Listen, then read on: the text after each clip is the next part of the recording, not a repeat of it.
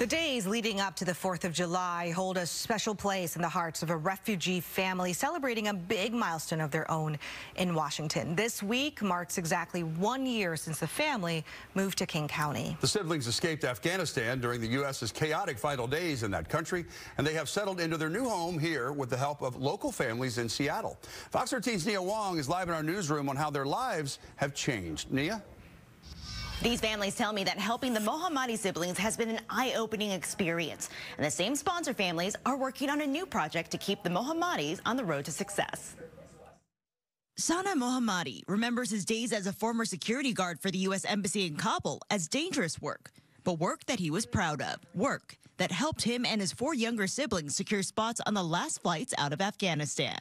Thousands of people rushed to airport to uh, trying to uh, outside the country. The siblings escaped in 2021, forcing Sana to step into a new role as head of his household. This is new challenge for me because in Afghanistan, my father is colonel to a national army, but 2021, 2020 September, he died. The chaotic scenes of America's last days in Afghanistan were seen around the world sticking with Nelson J as he watched from the United States. Uh, you know, it's heartbreaking. I mean, honestly, we just felt terrible when we saw the images on TV of the planes leaving and people clinging to the wheels. Which is why Nelson and three more families in Northeast Seattle decided to adopt the Mohammadis, welcoming the five siblings into Seattle a year ago this week. I have to say it makes me proud to be an American because we all learned a lot. It's been so rewarding. In the past year, these families have celebrated holidays, graduations, and exploring all that life in America has to offer together. Nelson still checks in with Sana at home and sometimes unexpectedly at Sana's job.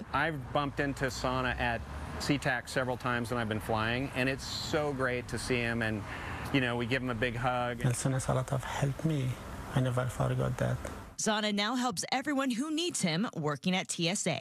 I help passenger cannot walking to wheelchair. Though the Mohammadis are settling in, the Jays are still looking out for them. As uh, refugees and immigrants get jobs, it proportionally reduces the amount of available funds that they can get through the programs that are that they're eligible for. The Jays have started a GoFundMe to help Sana get a car to help him juggle life at work and at home. In addition to being an older brother, he's in a unique position that he moved to the U.S. with his four siblings, and he's acting as parent and primary caregiver and breadwinner, and it's uh, it's a big project. Nelson is proud of the Mohammadi's progress, and he hopes other families in Washington will be inspired to help too. It's awesome. We're, this is what you want to see with uh, refugees that arrive here, and they're contributing. I mean, all of them are making a difference.